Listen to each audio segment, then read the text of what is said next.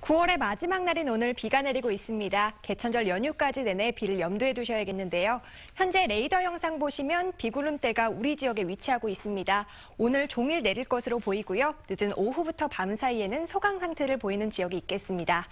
우리 지역 내일까지 강우량 보시면 20에서 60mm로 예상되고요. 남해안에서는 30에서 80mm까지도 내리겠습니다. 비로 인한 피해 없도록 주의하셔야겠습니다.